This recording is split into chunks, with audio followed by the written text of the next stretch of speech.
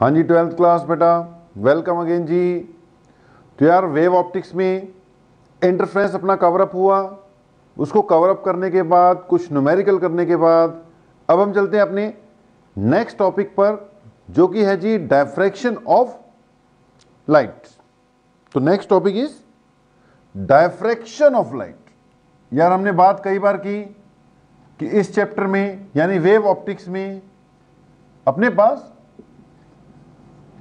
Basically इसके four parts थे। First parts Huygens principle, यानी हाइजेंस प्रिंसिपल। सेकेंड पार्ट बेटा इसका, इंटरफेरेंस वाला है या था? और अगला पार्ट इसका, जो भी हमने स्टार्ट करना है या कर दिया, डायफ्रैक्शन ऑफ़ लाइट। और लास्टली फिर बेटा, क्या होगा? पोलराइजेशन ऑफ़ लाइट तो जी कितने टॉपिक हाइजेन प्रिंसिपल जिसमें wave front Huygens principle etcetera हमने किया। उसके बाद बेटा इंटरफ्रेंस हो गया, काफ़ी लंबा चौड़ा निकला।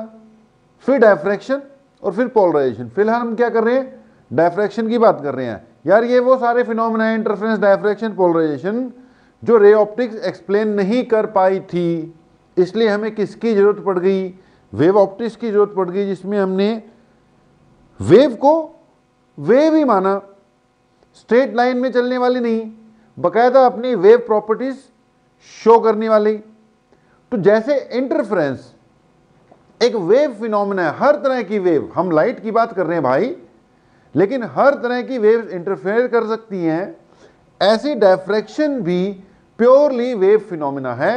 हर टाइप की वेव साउंड वेव्स भी डायफ्रैक्ट करती हैं। कोई और टाइप की वेव होंगी एक्स रेज गामा रेज जो दिखती भी नहीं है, वो भी क्या करती होंगी? डायफ्रैक्ट करती होंगी। ऐसी लाइट भी वेव है तो ये भी डायफ्रैक्ट करेगी। तो पहली बात तो ये कि ज़रूरी नहीं है लाइट ही, हर तरह की वेव्स बेटा it is a purely wave phenomena.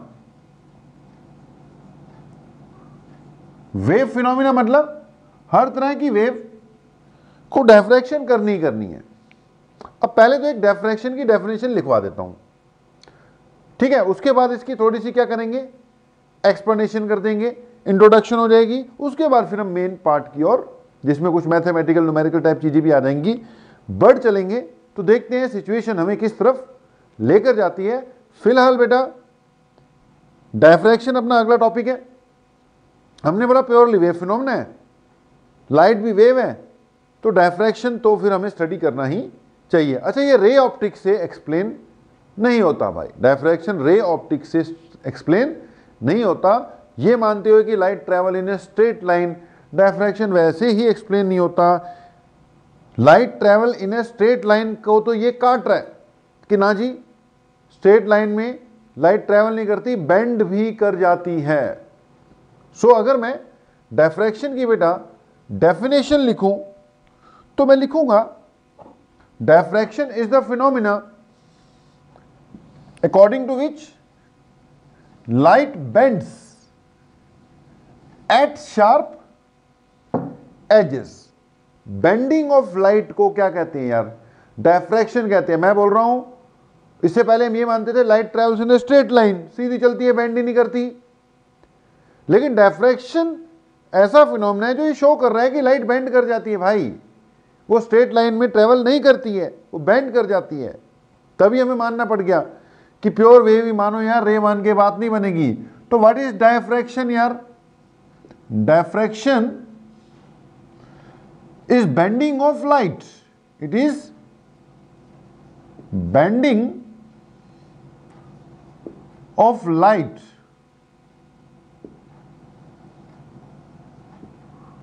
It is bending of light at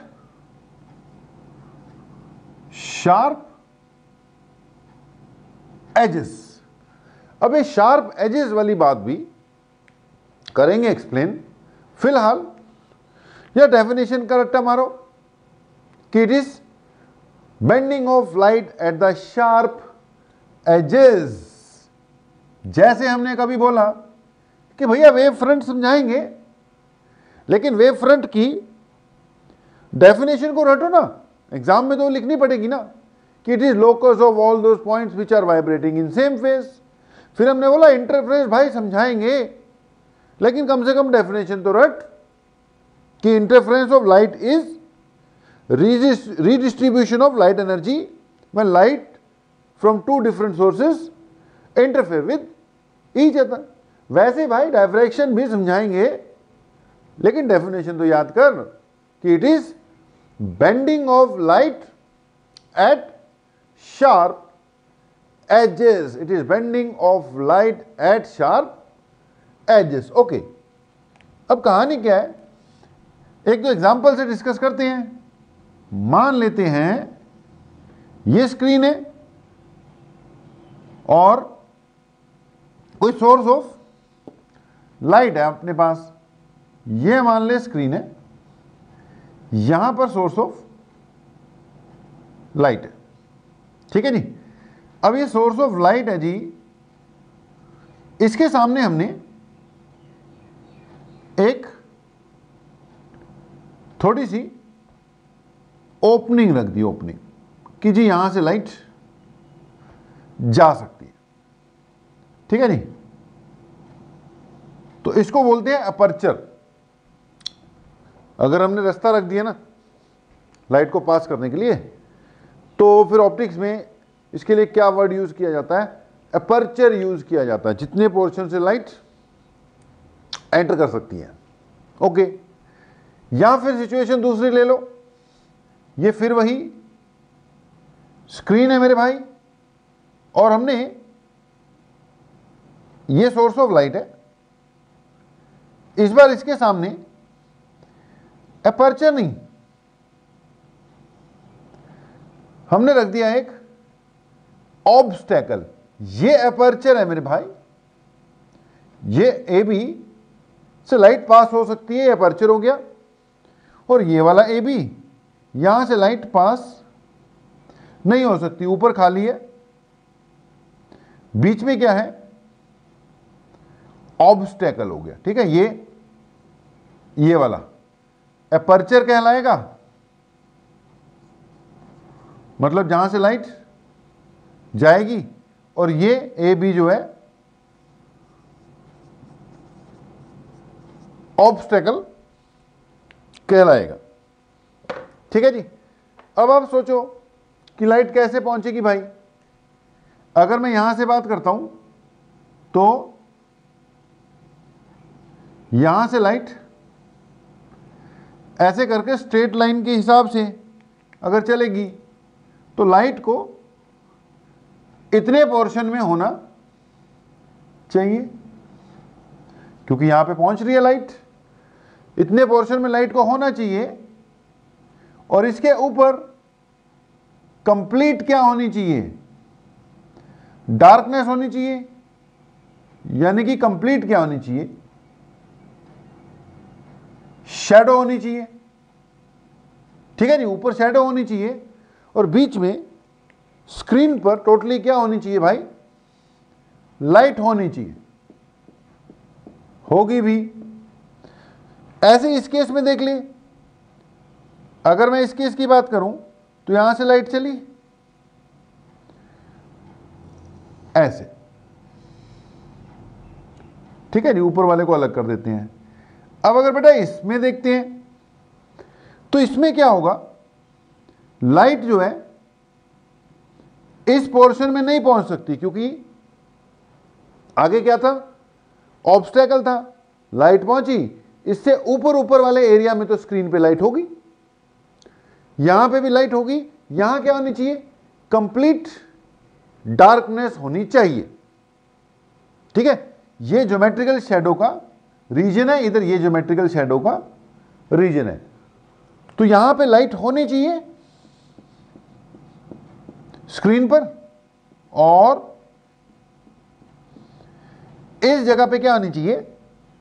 complete darkness होनी चाहिए। देख भाई, ऐसा ही होता है, ऐसा ही होता है। यहाँ पर लाइट आती है, यहाँ पे डार्कनेस होती है। यहाँ पर लाइट नहीं आती है, यहाँ पे ब्राइटनेस होती है, यहाँ कंप्लीट डार्कनेस होती है। ऐसा ही होता है, खैर। लेकिन अगर ज़्यादा ध्यान से देखो तो इस पोर्शन में भी थोड़ी बहुत लाइट देखो, पहुँचती है। मान लो एक स्क्रीन है। स्क्रीन पर आपने स्क्रीन पर आपने इस जगह पर कुछ लिख रखा है। इस जगह पर कुछ लिख रखा है, लिख रखा है। अगर भाई उसमें लाइट पड़ेगी नहीं, बिल्कुल कंप्लीट डार्कनेस होगी तो देखो पढ़ा नहीं जाएगा। वहाँ क्या लिखा हुआ है? अंधेरा है, कैसे पढ़ोगे? लेकिन आप ऐसी सिचुएशन क्रिएट करो, जिस पोर्शन में लाइट नहीं पहुँच रही थी, वहाँ पर तुमने कुछ लिखा हुआ है। अगर तो आप ये स्विच करते हो ऑफ़ स्विच ऑफ़ कर दिया, अंधेरा है कमरे में, रात का टाइम है। तो अगर आपने स्विच ऑफ़ किया तो तो देख यहाँ पे भी लाइट नहीं होगी, यहाँ पे भी लाइट नहीं होगी, यहाँ पे भी लाइट नहीं होगी। तो यहाँ लिख ले, यहाँ लिख ले, दिख ही नहीं रहा कुछ। अब अगली बात यह है कि तुमने स्विच ऑन किया लाइट इतने पोर्शन में पड़ेगी, लेकिन मेरे भाई, जो यहाँ पे लिखा है ना तूने उसको भी पढ़ने के काबिल तू हो जाएगा। अब उसको पढ़ने के काबिल तू हो जाएगा मतलब वहाँ तक। कुछ तो लाइट पहुँचती है। बहुत बढ़िया से नहीं पड़ेगी उस पर लाइट, लेकिन ऐसा भी नहीं है कि यहाँ पर घुप अंधेरा होगा। और वो जो लिखा है हमने, वो पढ़ा ही नहीं जाएगा। आई मीन टू से कि बाय रूल स्ट्रेट लाइन के हिसाब से यहाँ पे गुप अंधेरा होना चाहिए। यहाँ पे लिखी हुई चीज़ बिल्कुल भी दिखनी नहीं चाहिए।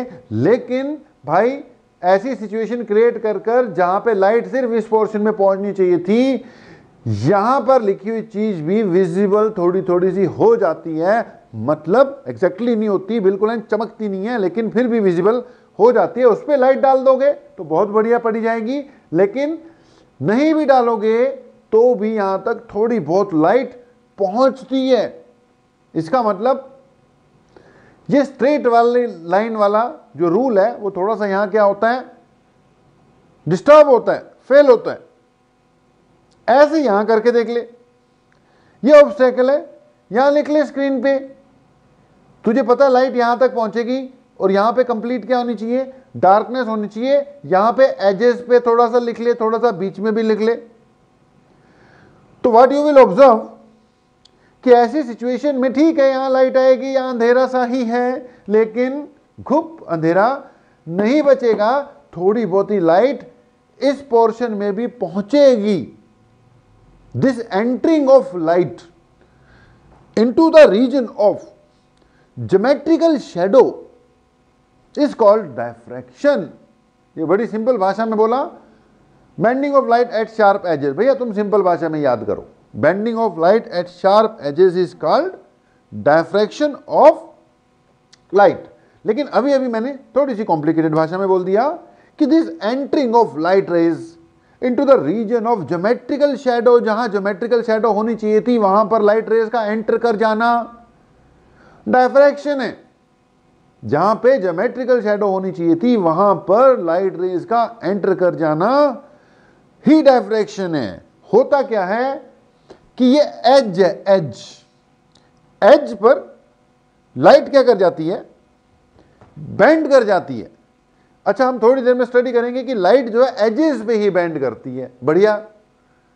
बढ़िया तरीके से एजेस पे बैंड करती है। तो जाना तो इसको इसी रीजन में चाहिए था, लेकिन यहाँ पे एज पर जब लाइट पड़ती है तो मेरे भाई, वो बैंड हो जाती है। ठीक है जी?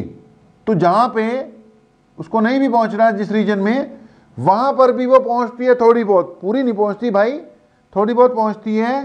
तो this bending of light at the sharp edges called diffraction A dash B dash तक लाइट पहुंचनी चाहिए थी। ए डैश से ऊपर भी पहुँच रही है, थोड़ा नीचे भी पहुँच रही है। ये जो लाल वाली है, ये डायफ्रैक्टेड लाइट है। Bending of light at the edges मैं बार बार बोल रहा हूँ शार्प एज पे ही क्यों डायफ्रैक्ट होगी, वो डिस्कस होगा अभी। फ़िलहाल, अब यहाँ पर देख, ऊपर जाना था इसने, लेकिन इस रीजन में भी पहुँचती है, क्योंकि एज पर ये क्या हो जाती है? डायफ्रैक्ट हो जाती है। ठीक है जी? एजेस पे ये क्या हो जाती है? डायफ्रैक्ट हो जाती है। इसलिए थोड़ी बहुत इधर भी पहुँच जाएगी, थोड़ी बहुत यहाँ थोड़ी ज़्यादा डायफ्रैक्शन होगी, यहाँ बहुत एक आधी रेई पहुंचेगी, लेकिन बस पहुँचती है। This diffraction of light at sharp edges sorry this bending of light at sharp edges is termed as diffraction ऐसा होता है। इसी को डायफ्रैक्शन कहते हैं। अब अगली बात। कि शार्प एज शार्प एज क्या लगा रखा है? बेंडिंग ऑफ़ लाइट तो ठीक है, समझ में लग रहा है। लेकिन शार्प एज का क्या चक्कर है? अब इसमें पॉइंट ही बना देंगे हम अपना। अगला। एक पॉइंट लिखना कि essential condition for diffraction to occur diffraction होने के लिए या कह लो डायफ्रैक्शन को बढ़िया तरीके से होने के लिए एसेंशियल कंडीशन क्या है? ठीक है जी? तो सबसे पहली बात हमने डायफ्रैक्शन की क्या कर ली? डेफिनेशन कर ली।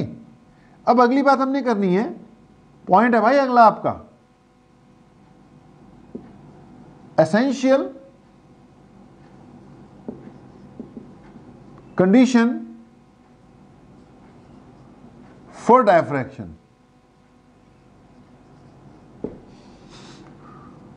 to occur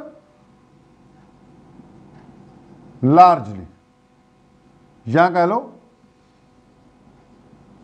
डोमिनेंटली मतलब अच्छी खासी डायफ्रैक्शन हो, बढ़िया डायफ्रैक्शन हो.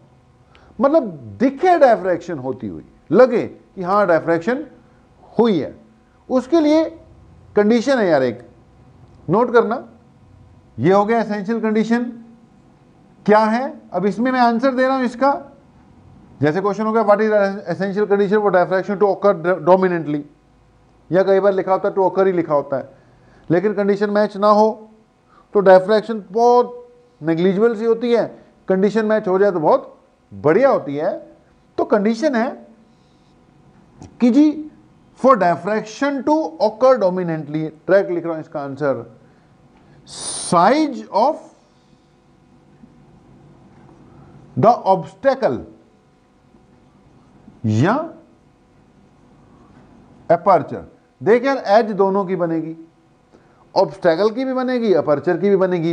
ये ऑब्स्टेकल वाला केस था। उसमें अंदर जोमेट्रिकल शेडो है, अंदर की ओर डायफ्रैक्ट होकर आती है।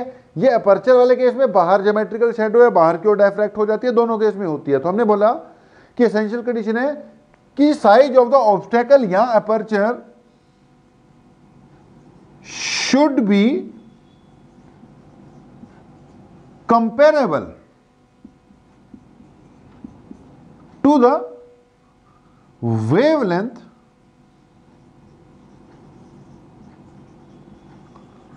of the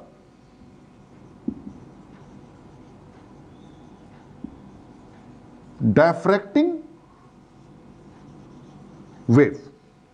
Size of the obstacle या अपर्चर जो है, वो क्या होना चाहिए? वेवलेंथ के कंपेरेबल होना चाहिए। देख इक्वल बोलने की ज़रूरत नहीं है। इक्वल हो जाएगा तो मज़े ही आ जाएँगे। बहुत बढ़िया। डायफ्रैक्शन हो जाएगी। लेकिन हर बार इक्वल नहीं हो पाएगा ना। कंपेरेबल कंपेरेबल का मतलब अगर अपर्चर का साइज़ मीटर्स में है तो वेवलेंथ भी मीटर्स में हो तो बढ़िया डायफ्रैक्शन होगी। या उल्टा लगा ले। अगर वेवलेंथ ऑफ़ वेव मीटर में आ रही है। तो ऑब्स्टैकल भी मीटर में होगा, तभी डायफ्रैक्शन बढ़िया होगी। अब ऑब्स्टैकल का साइज़ चल रहा है मीटर्स में वेवलेंथ है नैनोमीटर्स में तो भाई डायफ्रैक्शन ऑब्ज़र्व नहीं होनी। बहुत कम होनी है ऑब्ज़र्व ही नहीं होनी। अगर ऑब्स्टैकल सेंटीमीटर में वेवलेंथ भी सेंटीमीटर में, बढ़िया।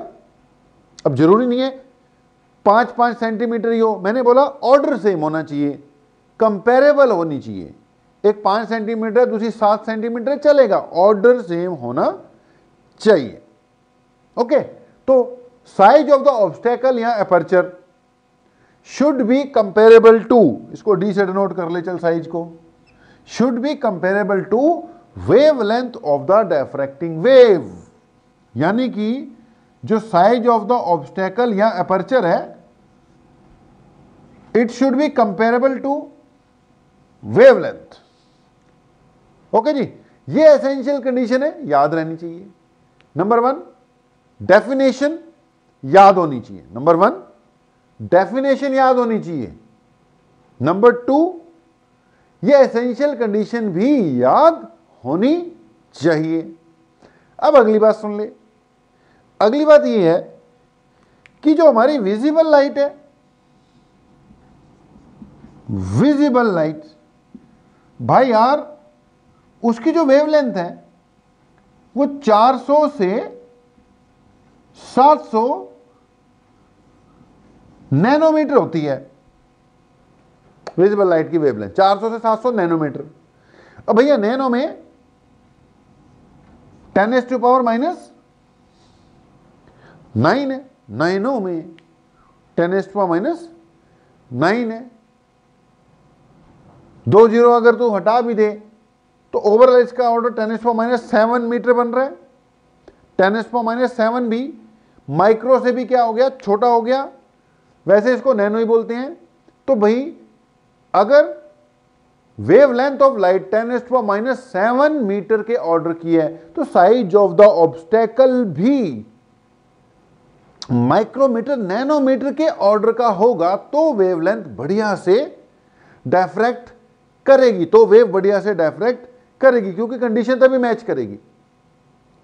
तभी हम कह रहे हैं लाइट की डायफ्रैक्शन बड़े बड़े ऑब्स्टेकल्स से नहीं होती, सारे ऑब्स्टेकल से नहीं होगी। इसकी जो शार्प एज है ना शार्प एज किसी भी ऑब्स्टेकल की एज पे जब लाइट पड़ेगी तो वो जो एज है ना एज उसका ऑर्डर हम ये नैनोमीटर माइक्रोमीटर के साइज़ का मान सकते हैं। वहाँ से डायफ्रैक्शन बढ़िया होती है। इसीलिए हमने बोला है कि diffraction is bending of a light हमने स्पेशली लाइट शब्द यूज़ कर लिया कि it is bending of light जब लाइट यूज़ कर लिया तो इसकी वेवलेंथ तो टेन एस्पा माइनस नौ मीटर की ऑर्डर की है। इसलिए फिर हमने यहाँ पे क्या वर्ड यूज़ करना है? शार्प एज यानी टेन एस्पा माइनस सेवन से नौ का ऑर्डर होगा। तो लाइट की डेफ्रेक्शन बढ़िया ऑब्ज़र्व होगी।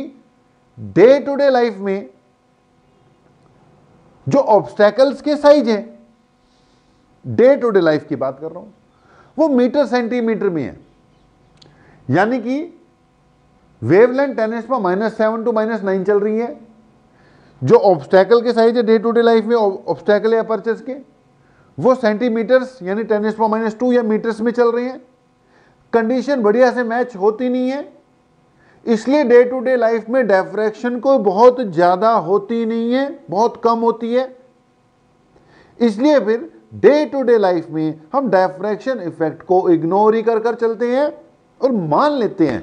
कि light travels in a straight line तभी हम मान लेते हैं light travel in a straight काम।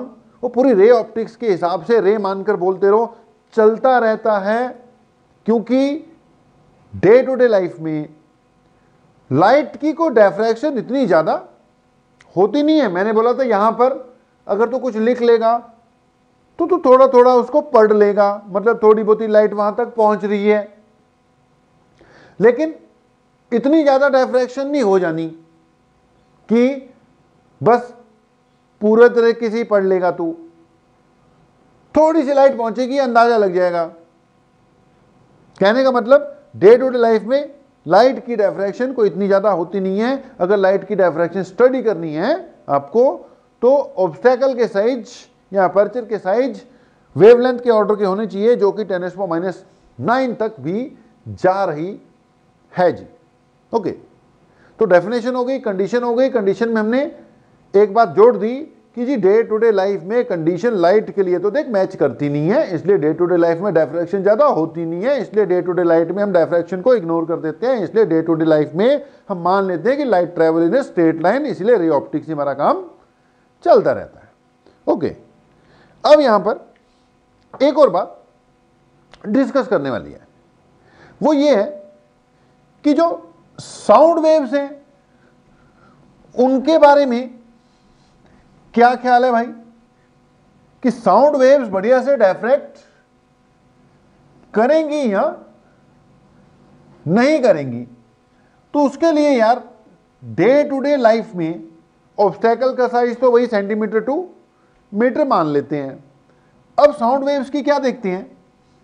वेवलेंथ चेक करते हैं कि साउंड वेव्स की वेवलेंथ कितनी का है। उसके हिसाब से फिर पता लगेगा कि डायफ्रैक्शन बढ़िया से होगी साउंड वेव्स की या नहीं होगी। इसको मिटा देते हैं, चल। लाइट वाली बात को एक बार खत्म करते हैं। साउंड वेव्स की बात पर आते हैं। तो बेटा साउंड वेव्स के बारे में अगर आप याद करो बचपन से पढ़ते आ रहे हो कि जी जो साउंड वेव्स होती हैं उनकी जो फ्रीक्वेंसी होती है वो होती है 20 hertz to 20,000 hertz audible range है ना जो? साउंड वेव की फ्रीक्वेंसी तो ऊपर भी चली जाएगी नीचे भी चली जाएगी क्योंकि बेटा जो अल्ट्रासोनिक और इंफ्रासोनिक सुना होगा। वो सब साउंड वेव है। लेकिन जो ऑडिबल पार्ट है उसका ऑडिबल जो हमें सुनता है, जो ऑडिबल साउंड है यार, उसकी फ्रीक्वेंसी रेंज कितनी है? 20 हर्ट्स टू 20 थाउज़ेंड हर्ट बीस हर्ट से बीस हज़ार हर्ट तक। अच्छा जो स्पीड ऑफ़ साउंड है वो हम लोग 330 मीटर पर सेकेंड इन एयर मानते हैं नॉर्मल टेम्परेचर पर। कहीं कहीं पे कभी कभी खैर 340 भी मिलती है, बाकी क्वेश्चन में दिया हो तो उसके हिसाब से होता है 340 333 लेकिन 330 अगर कुछ ना दिया हो तो 330 लेके कर देते होते हैं। ओके मैं इसको अभी भी मैं 300 लेके ही कर दूँगा। इसको और राउंड ऑफ़ कर देता हूँ। भैया, करना नहीं है। वो तो अभी मुझे बस ऑर्डर चाहिए, ना, अंदाज़ा चाहिए बस। वेवलेंथ का। वेवलेंथ निकाल रहा हूँ मैं साउंड वेव की। तो यार, मुझे वेवलेंथ का बस अप्रोक्सीमेट आइडिया चाहिए। अप्रोक्सीमेट वेवलेंथ निकालनी है तो मैं 300 से कैलकुलेट करने की कोशिश करूँगा। ओके अब आपको पता है यार वेलोसिटी इक्वल टू क्या होता है? Velocity is equal to nu into lambda अब इसके हिसाब से लैमडा इक्वल टू क्या होगा? वी बाय न्यू आ जाएगा भाई। अब लाइट के लिए सी बाय न्यू होता है तो यहाँ पे वी बाय न्यू हो गया ना? ओके अब इसके हिसाब से अगर मैं 20 हर्ट्स को मानकर वेवलेंथ कैलकुलेट करता हूँ रेंज निकालनी है ना? तो वी बाय न्यू इसको चल 300 ले ले, और इसको न्यू को कितना रख रहा हूँ फिर मैं? 20 रख रहा हूँ। ठीक है? वेलोसिटी बाय फ्रीक्वेंसी 20 हर्ट्ज है ना? भाई 20 रख ली 330 की जगह 300 ले लिया मैंने। कोई दिक्कत नहीं है। 15 मीटर आ गई यार। और अगर दूसरा एंड ले लूँ स्पीड तो चल 300 ही रखूँगा। और इसकी जगह 20 हज़ार रख लेते हैं। तो ये कितनी आ गई?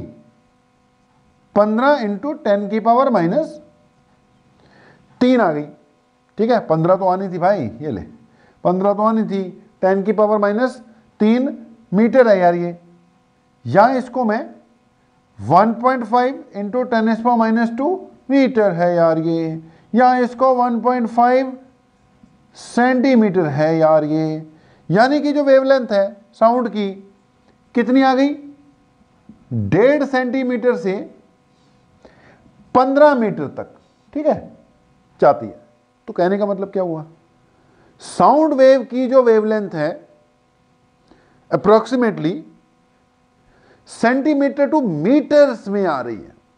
उसका जो ऑर्डर है ना order order of wavelength of sound wave, वो आ रही है देख मीटर सेंटीमीटर में।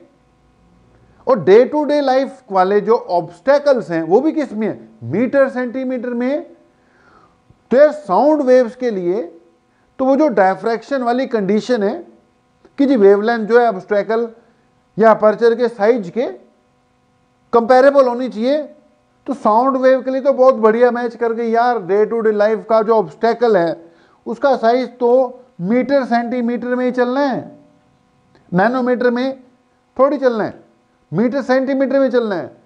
और इसकी वेवलेंथ भी किसमें? मीटर सेंटीमीटर में है। भैया नोट कर ले। नोट ये कर ले कि जो साउंड वेव है ना साउंड वेव्स।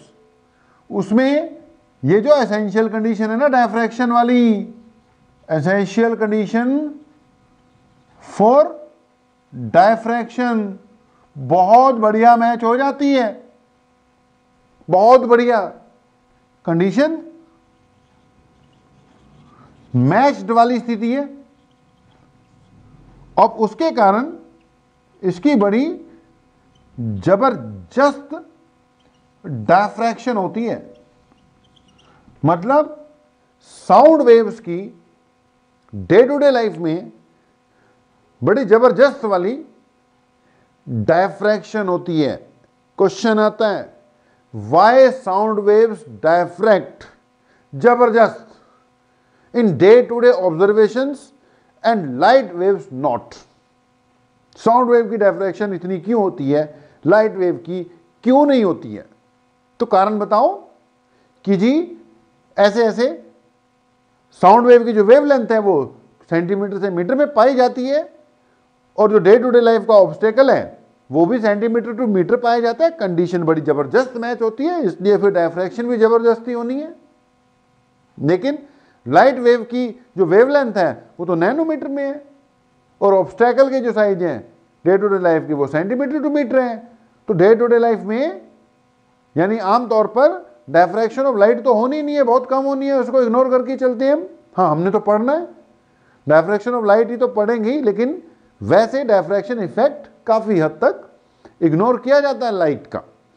ओके? तो एक ये भी क्वेश्चन ही लिख लो कि why sound waves diffract more as compare to light waves in day to day observation उसका कारण मैंने बता दिया।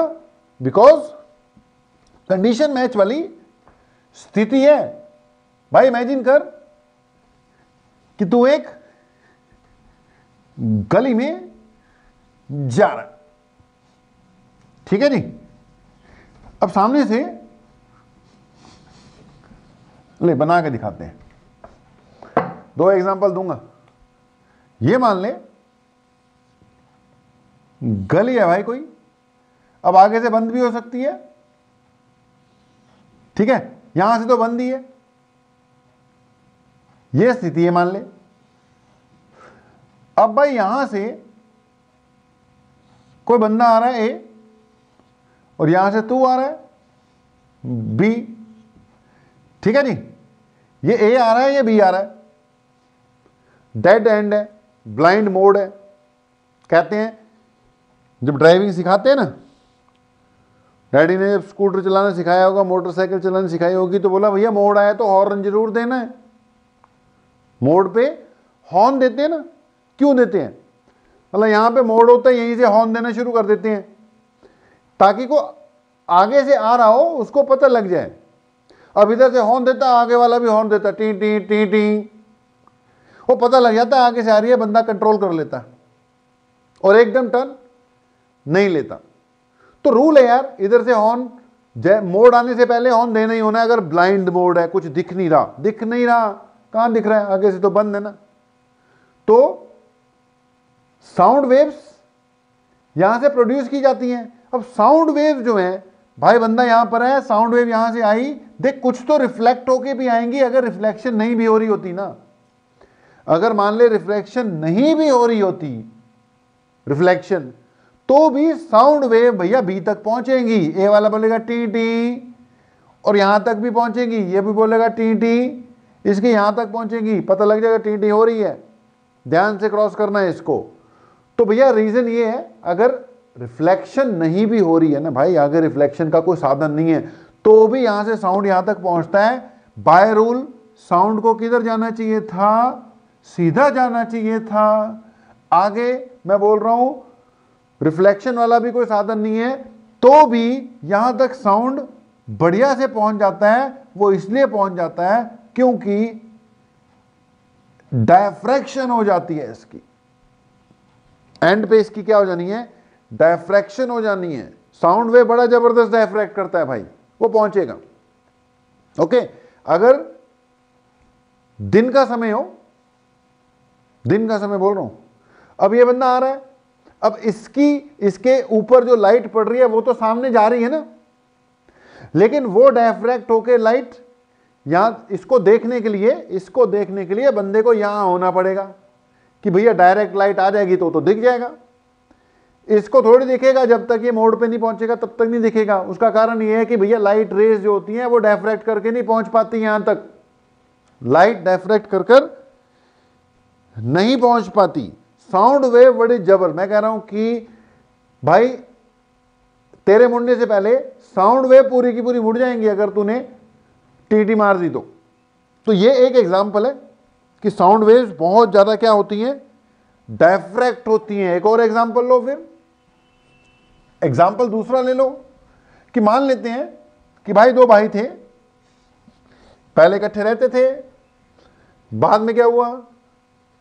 यार शादियाँ हो गई, बीवी आ गई, बच्चे आ गए, बच्चे तो आनी थे।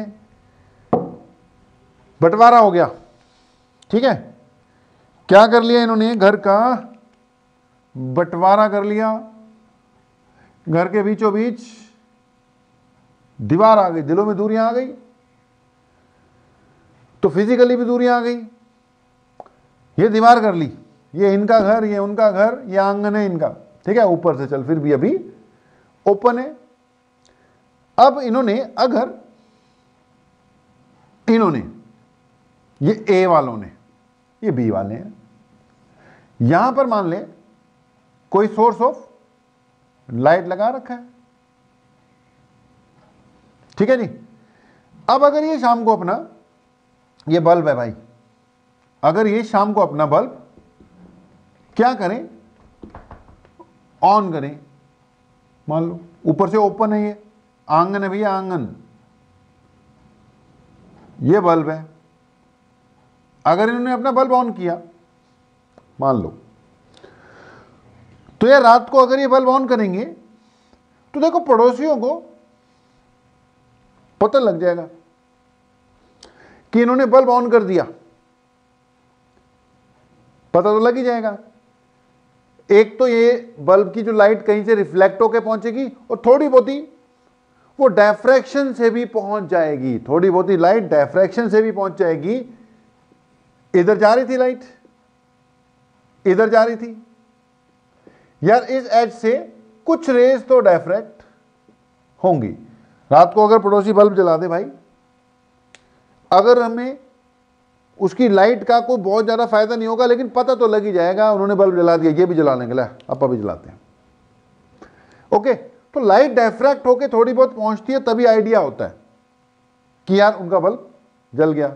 लेकिन ये लाइट इतनी नहीं पहुँच पाएगी कि आप इसका यूज़ करो कि लैब उन्होंने जला लिया, चलो, उसी से अपना काम चल जाएगा और बिजली बचेगी। तो अपना बल्ब तो लगाना पड़ेगा, जलाना पड़ेगा। हाँ पता ज़रूर लग जाता है कि यार उधर बल्ब जल गया क्योंकि कुछ रेस तो पहुँचती है, कुछ की डेफ्रैक्शन तो होती है, जो एज पे पड़ेंगी, उनकी तो हो जाएगी। ओके मतलब लाइट की डेफ्रैक्शन होती है, बहुत कम होती है, फ़ायदा उसका हम नहीं उठा सकते हैं। अब स्थिति दूसरी ले लें। वही घर है। ओके ये ए है। ये बी है। ठीक है जी, हैं तो भाई देख। लेकिन बोलचाल नहीं है आपस में। बीवियों ने मत मार रखी है भाइयों की। तो आपस में बोलचाल नहीं है। मान लो भैया इनके बच्चे का बर्थडे है, अभी बर्थडे करते हैं और बर्थडे करते करते आँगन में वो स्पीकर लगा लेते हैं। स्पीकर लगा लेते हैं और अपना मज़े लेने लग जाते हैं। अब इनको बुलाया तो है नहीं है। अब यार जब ये अपनी लाइट ऑन करते हैं, तब तो इसका कोई खास यूज़ यहाँ तक होता नहीं है, पहुँचती नहीं है ज़्यादा लाइट लेकिन जब इन्होंने ये साउंड सिस्टम लगा दिया, यहाँ घर के नॉर्मल होते हैं घरों में बड़े वाले स्पीकर वो लगा के अपना बर्थडे बर्थडे मना रहे हैं। तो यार ये वाले तो ठीक है इंजॉय कर ही रहे हैं। ठीक है? ये वाले तो भाई इंजॉय कर ही रहे हैं। साउंड वेव्स डायफ्रैक्ट होकर इधर भी इतनी पहुँच जाएँगी कि भाई अब ये पढ़ाई लिखाई तो कर नहीं सकते। बीच में दीवार है, फिर भी साउंड वेव यहाँ पर खूब सारी पहुंचेंगी। हाँ, अगर एंजॉय करना चाहें तो ये भी सारा परिवार कर सकते हैं। मियाँ, बीवी और उनके दो बच्चे कहते हैं बुलाया तो है नहीं, कोई चक्कर नहीं है। आप यहीं पे क्या करते हैं इंजॉय करते हैं। तो पॉइंट ये है लाइट वेव्स भी पहुँचती होंगी, थोड़ी पहुँचती हैं। डायफ्रैक्शन बहुत कम होती है, लेकिन साउंड वेव की डायफ्रैक्शन बहुत बहुत ज़्यादा होती है। कारण कंडीशन प्रॉपरली क्या हो जाती है? मैच हो जाती है। कंडीशन प्रॉपरली मैच हो जाती है। ओके तो अभी तक यार, जो भी हमने बात की, उसमें निकल कर क्या आया है? निकल कर बस ये आया है कि जी डायफ्रैक्शन क्या है? पहली बात डेफिनेशन डायफ्रैक्शन क्या है जी? Bending of light at sharp edges bending of light at sharp edges is called diffraction okay दूसरे नंबर पर हमने बोला कि डायफ्रैक्शन को ऑब्ज़र्व करने की या बढ़िया से डायफ्रैक्शन करवाने की एसेंशियल कंडीशन क्या है? What is the essential condition उसमें हमने बोला कि भैया ऑर्डर क्या करना चाहिए? आपस में मैच कर जाना चाहिए। किसका ऑर्डर उधर वेवलेंथ का ऑर्डर और उधर ऑब्स्टैकल के साइज़ का ऑर्डर फिर तीसरी बात हमने की है कि जी डे टू डे लाइफ में साउंड वेव डायफ्रैक्ट क्यों करती हैं? ज़्यादा और लाइट वेव क्यों नहीं ज़्यादा कर पाती? तो उसका कारण है कि लाइट वेव के केस में there is mismatching of essential condition day to day life के हिसाब से। अगर ऑब्स्टैकल का साइज़ नैनोमीटर माइक्रोमीटर का हो तो तो डायफ्रैक्शन देखो होती है, फिर बढ़िया होती है। तभी एजेस पे ही करवाते हैं हम डायफ्रैक्शन और साउंड वेव की क्यों होती है? क्योंकि कंडीशन मैच कर जाती है। बाकी एग्ज़ाम्पल इधर उधर के हमने दे ही दिए। अब इसके बाद बेटा हम आ जाएँगे अपने मेन टॉपिक पे। डायफ्रैक्शन कई तरह की होती है, कई तरह की स्टडी करनी पड़ती है, लेकिन सिलेबस में एक ही है। Diffraction at single slit okay syllabus में एक ही है अपने डायफ्रैक्शन एट सिंगल स्लिट आज हम उसकी थोड़ी सी इंट्रोडक्शन वगैरह ही देंगे, उसके बाद क्लोज कर देंगे, क्योंकि उसको फिर पूरे को कवर अप करना पड़ेगा एक ही बार में। तो आज इंट्रोडक्शन ही उसकी देंगे। थोड़ा बहुत पंद्रह मिनट और लगाते हैं। डायफ्रैक्शन सिंगल स्लिट किया वो कर कवर अप करके। फिर हम आज की बात को क्लोज कर देंगे और नेक्स्ट लेक्चर यानी कल ही आ जाएगा आपका लेक्चर उसमें फिर डायफ्रैक्शन सिंगल स्लिट बस अपने पास सिलेबस में वो डायफ्रैक्शन सिंगल स्लिट ही है, उसको हम कवर अप कर देंगे न्यूमेरिकल्स भी उस पर बेस फिर बनते होते हैं। ओके जी? अच्छा बेटा, अगली बात। हमने बेसिकली मैंने बोला, क्या स्टडी करना है? डेफ्रैक्शन एट सिंगल स्लिट उसकी बस थोड़ी सी बात करने की कोशिश करेंगे। अगर हम बात करें बेटा डायफ्रैक्शन की तो डायफ्रैक्शन को ना वैसे, कुछ नहीं, इस पे आता आता नहीं क्वेश्चन फिर भी चल। बात कर ही लेते हैं डायफ्रैक्शन को दो पार्ट में बांटते हैं। एक जिसको कहते हैं यार फ्रेनल डायफ्रैक्शन साइंटिस्ट के नाम है भाई। और दूसरे को फ्रॉन फ्रॉनहोफर डायफ्रैक्शन फ्रेनल फ्रॉनहोफर मान लो हमने डायफ्रैक्शन स्टडी करनी है, अगर डायफ्रैक्शन हमने स्टडी करनी है तो यार हमारे पास एक ऑब्स्टैकल होगा। ठीक है मेन तो ऑब्स्टैकल या अपर्चर चाहिए। उसके बाद एक सोर्स ऑफ़ लाइट होगा, और डायफ्रैक्शन कैसी हो रही है, क्या नहीं हो रहा, उसके लिए स्क्रीन होगा तो तीन चीज़ें चाहिए ना। एक चाहिए ऑब्स्टेकल या अपर्चन एक चाहिए सोर्स ऑफ़ लाइट एक चाहिए स्क्रीन तो Fresnel diffraction is also known as near field near field near field मतलब ये अगर अपर्चर है तो इसमें जो सोर्स है, वो भी नियर होगा। नियर मतलब को बहुत ज़्यादा दूरी पर नहीं होगा। और जो स्क्रीन है, वो भी नियर होगा। Source as well as screen both are at finite distances ठीक है? नॉर्मल डिस्टेंस पे। फ्रॉन ऑफ़र रेफ्रेक्शन जो है it is also known as far field diffraction it is also known as far field diffraction far field का मतलब कि जो source है, वो भी बहुत दूर होगा और जो स्क्रीन है, वो भी बहुत दूर होगा। मतलब ऑब्स्टेकल तक जो सोर्स से लाइट आ रही है बहुत दूर से आ रही है।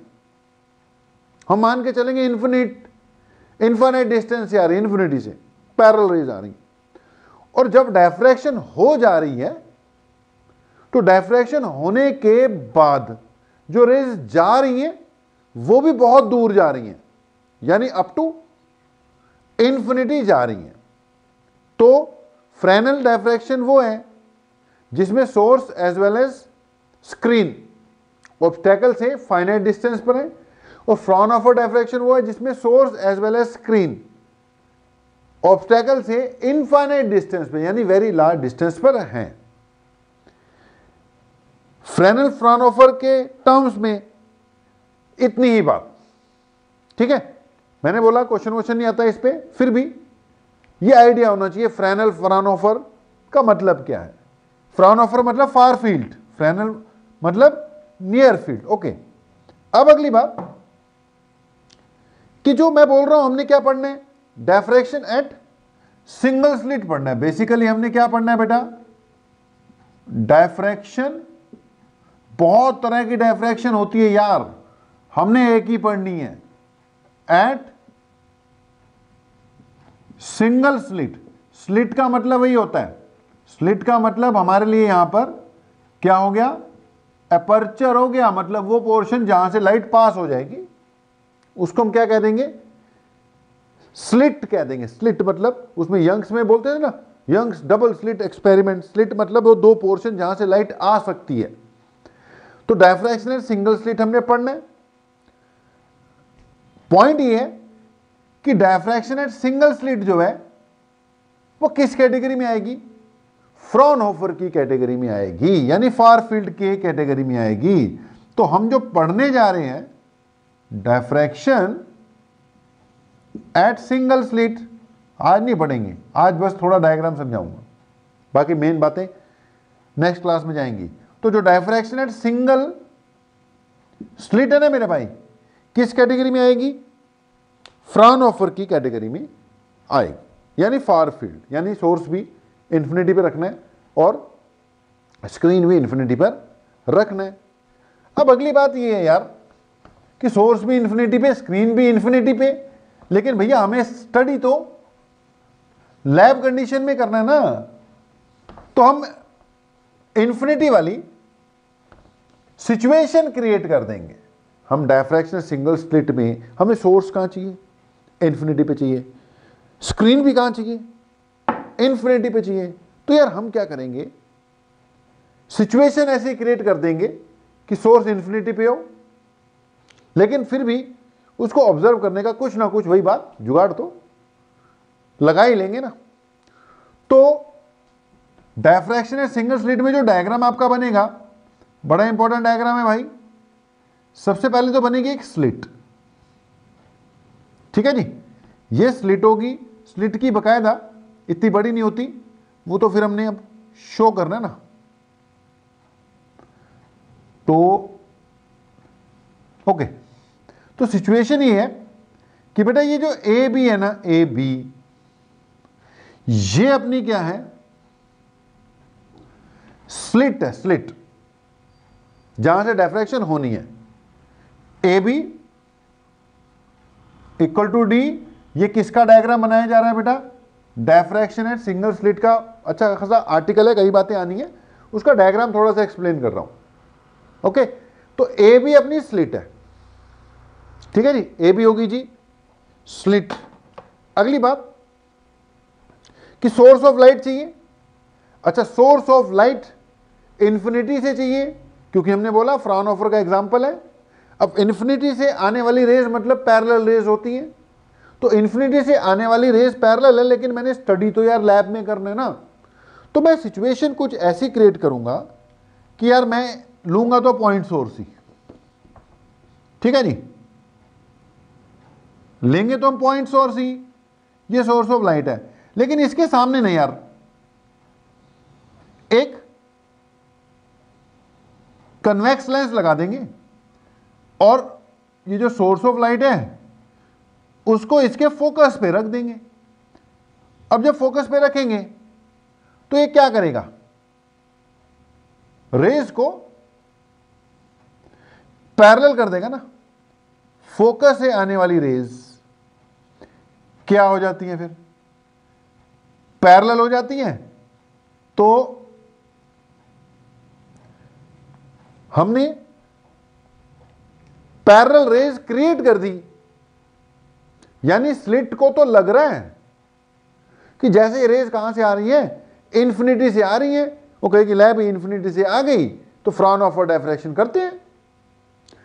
हमने सिचुएशन ऐसी क्रिएट कर दी कि लेंस का यूज़ किया लेंस का यहाँ पे डेफ्रैक्शन के लिए कोई यूज़ नहीं है। हमने तो बस सिचुएशन ऐसी क्रिएट करनी थी कि स्लिट को लगे कि रेज बहुत दूर से आ रही हैं, यानी इंफिनिटी से आ रही हैं। इंफिनिटी से आती हुई रेज पैरल शो करते होते हैं। इसलिए हमें पैरल रेज चाहिए थी। तो उसके लिए हमने क्या जुगाड़ लगाया? हमने नॉलेज यूज़ कर ली कि यार इन्फिनिटी से रेज यानी पैरल वाली रेज चाहिए।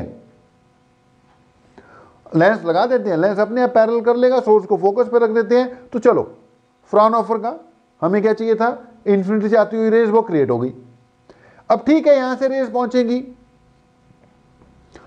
एजेस पे डेफ्रैक्शन भी होगी। एज पे क्या होनी है रेज की? डेफ्रैक्शन होनी है, वो भी होगी। लेकिन डेफ्रैक्शन होने के बाद ये रेज फिर से किस तरफ़ जाएँगी? इंफिनिटी की तरफ़ जाएँगी। अब कुछ रेस तो देख। सीधी भी निकलती है। तो सीधी तो जानी थी। कुछ रेस तो सीधी भी जाएँगी ना। लेकिन कुछ रेस बेटा जी, यहाँ पर, एज पर क्या हो जाएँगी? डायफ्रैक्ट हो जाएँगी। ये डायफ्रैक्ट हो गई। ओके।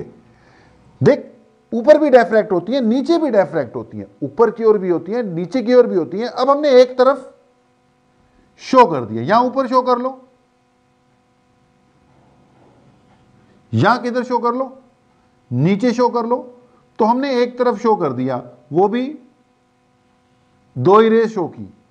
मान लो ये कितने एंगल पे डायफ्रैक्ट होती है? थीटा एंगल पर डायफ्रैक्ट हो गई, ये एंगल थीटा मान लेंगे। ठीक है जी? इस एंगल को क्या मान लेंगे? थीटा मान लेंगे। चलो मान लिया। अब बेटा ये डायफ्रैक्ट हो गई डेफ्रैक्ट होने के बाद या कुछ सीधी भी निकलेंगे ना। ये फिर से किस तरफ़ जा रही है? इंफिनिटी की ओर जा रही है। अब इंफिनिटी की ओर जा रही है इंफिनिटी से आ रही है डायफ्रैक्ट होके भी इंफिनिटी पे जा रही है। तो diffraction at single slit diffraction oh sorry diffraction at single slit Fraunhofer का। एग्जांपल हो गया, फ्रॉन ऑफ़र डायफ्रैक्शन हो रही है। लेकिन भाई मुझे ऑब्ज़र्व तो करना है, यहाँ तो जुगाड़ लगा लिया था इन्फिनिटी तक प्रोवाइड कर दी थी, अब आगे इन्फिनिटी तक जाती हुई रेस को स्क्रीन पर भी तो लेना है। अब उसके लिए फिर से क्या करेंगे? फिर से एक लेंस लगा देंगे। भैया सोर्स से आने वाली रेस को इसने पैरल किया तो पैरल को फिर से इकट्ठी करवा देते हैं। उसके लिए फिर से इसके आगे एक दूसरा लेंस लगा देते हैं। तो यहाँ पे बेटा जी एक दूसरा कन्वेक्स लेंस लग जाएगा। ठीक है जी? वो क्या करेगा? सामने स्क्रीन अब लगा देते हैं। तो यार पैरल रेज को ये कन्वर्ज कर देता है और जो सोर्स से आ रही है, उसको पैरल कर देता है फोकस से आ रही है, उनको पैरल कर देता है। तो अब इस पर पैरल रे पड़ रही है ना।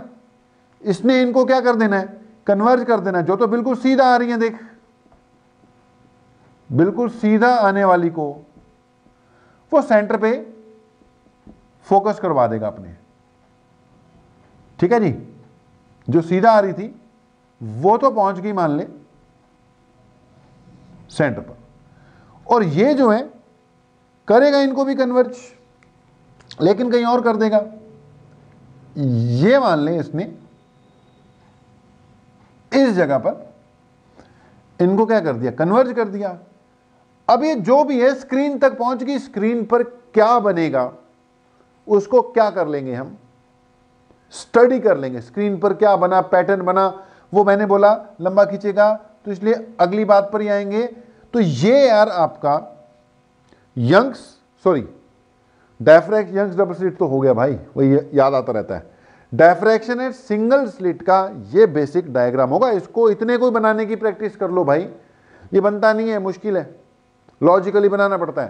पहले स्लिट बनाओ ए बी जो है उसको डी बोला करेंगे हम, ठीक है? ए बी जो है, ये विथ ऑफ़ द स्लिट है, इसको क्या बोला करेंगे? डी बोला करेंगे। जैसे वाई डी ऐसे चलता रहा, वैसे ये भी अब चलेगा। ओके इस लेंस का क्या काम है? भैया पैरल रेज प्रोवाइड करना। इस लेंस का क्या काम है? उन पैरल रेज को फिर से फोकस कर देना। ये सेंटर ऑफ़ द स्क्रीन माना जाएगा। ये हमारा पॉइंट ऑफ़ ऑब्जर्वेशन होगा। ठीक है? आगे चलकर हमें पी तक पहुँचने वाली जो रेज है, दो रेज है पी तक पहुँचने वाली। एक ए से पहुँची है, एक बी से पहुँची है। दोनों के बीच में डिफरेंस दिख रहा है आपको। नीचे वाली ने ज़्यादा डिस्टेंस कवर किया हुआ है, ऊपर वाली ने कम किया हुआ है। तो पी पे पहुँचने वाली रेज में फेस डिफरेंस आ गया है, जिसके कारण देखना पड़ेगा कंस्ट्रक्टिव हुआ है डिस्ट्रक्टिव हुआ है, क्या चीज़ आ रही है, वो सब मैंने बोला कल पे, लेकिन डायग्राम कंप्लीट कर दूँ। तो हमें पी तक पहुँचने वाली जो ए से पहुँची रेज है या जो बी से पहुँची रेज है, उनके बीच का फेस डिफरेंस चाहिए होगा। उसके लिए हम पहले पाथ डिफरेंस निकालेंगे। तो उसके लिए हम इसको परपेंडिकुलर डालेंगे यहाँ पर।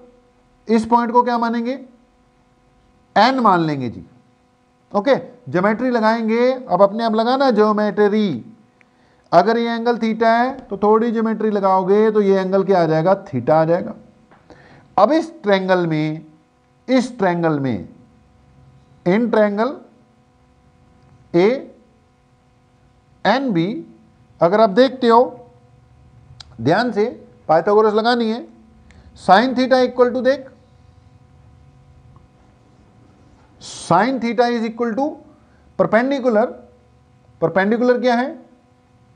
ए एन नहीं एंगल के सामने वाला परपेंडिकुलर होता है। एंगल के सामने वाला क्या होता है? परपेंडिकुलर होता है। तो छोटू सा जो ट्रायंगल है, उसका ये एंगल थीटा है। थीटा के सामने वाला परपेंडिकुलर है। परपेंडिकुलर यानी बी एन के नीचे।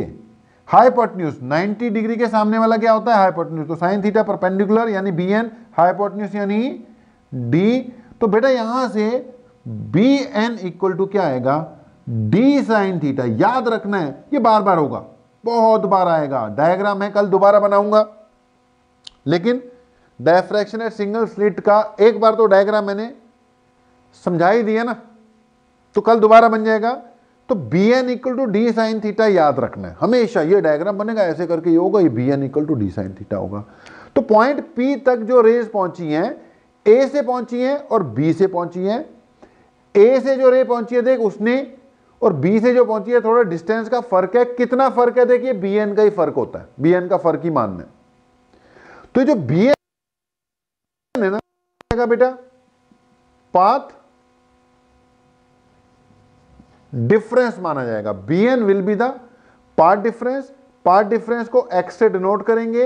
X equal to B N equal to D sine theta भैया path difference equal to D sine theta आज यहीं पे खत्म कर रहा हूँ। डायग्राम का यूज़ करना है। लेकिन चलो डायफ्रैक्शन एट सिंगल स्लिट का डायग्राम मैंने कर दिया, इसको डायग्राम को एक दो बार बनाने की प्रैक्टिस कर लो। पॉइंट पी पर पहुँचते पहुँचते जो दो रेस डेफ्रैक्ट होकर पहुँची है, उनके बीच में पार्ट डिफरेंस कितना आएगा? डी साइन थीटा याद कर लो। Path difference D sine theta बाकी अब इसका यूज़ क्या है? वो कल देखेंगे। अभी हम इसको क्या करने जा रहे हैं? क्लोज करने जा रहे हैं। वरना दो घंटे का लेक्चर हो जाएगा। भाई दो का भी क्या, ढाई का हो जाएगा, सारी पूरी बात कराने लग जाऊँ तो। तो इसकी पूरी स्टडी कल पे डाल दी बेटा। हमने अभी तक क्या किया? डेफ्रैक्शन की डेफिनेशन डेफ्रैक्शन की essential condition sound wave diffract ज़्यादा क्यों करती हैं? और light wave day to day life में क्यों नहीं करती हैं? वो देख लिया, फिर फ्रेनल देख लिया फ्रॉन ऑफ़र देख लिया। डायफ्रैक्शन सिंगल स्लिट हमारा सबसे मेन टॉपिक है, उसी पे पूरा कंसंट्रेट करना है, जिसकी हमने थोड़ी सी इंट्रोडक्शन या डायफ्रैक्शनल सिंगल स्लिट का कम से कम डायग्राम तो देख ही लिया। तो आज के लिए भाई इतना ही है। अभी आप लोगों से इजाज़त लेते हैं। हमारे साथ जुड़ने के लिए आप लोगों का बहुत बहुत धन्यवाद। थैंक यू वेरी मच मिलते हैं ब्रेक के बाद।